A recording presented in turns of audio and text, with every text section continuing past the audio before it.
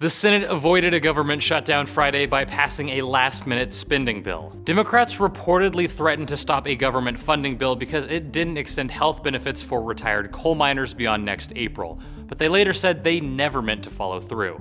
We never intended to shut down the government, but our intention is very real.